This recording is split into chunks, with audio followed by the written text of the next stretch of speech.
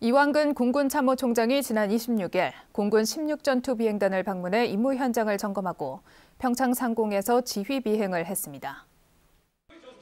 이날 이 총장은 중북부 영공방위의 핵심 부대인 공군 16전투 비행단을 방문해 임무 현황을 보고받고 FA-50에 탑승해 지휘 비행을 했습니다.